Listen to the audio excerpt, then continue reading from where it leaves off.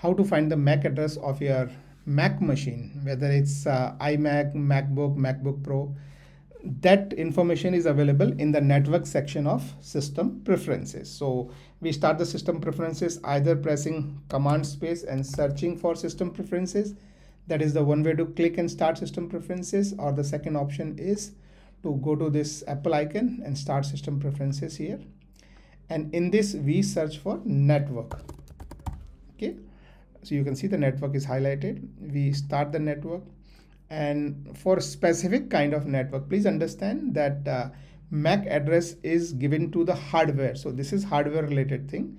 So I want to see what is the MAC address of my Wi-Fi hardware uh, router which is built in. So I go to this advanced option and click on it and this gives me all the information about my current Wi-Fi card.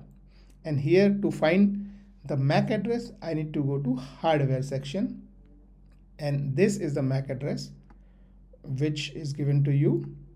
And this address, if you want to copy this, you can just, let's say, you can just do command C here and go and anywhere paste it and it would be available to you.